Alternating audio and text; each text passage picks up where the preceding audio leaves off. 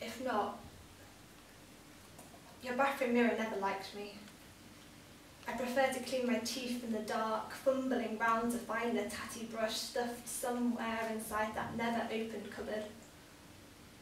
I always told myself I would not be back, would never look again into your bathroom mirror. Other mirrors aren't so bad.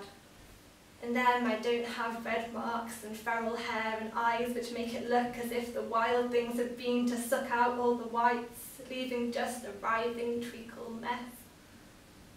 I think of my dad who made meringues, splitting eggshells, dribbling the slime between the porcelain cups, but he does not belong here, has no place inside your bathroom mirror.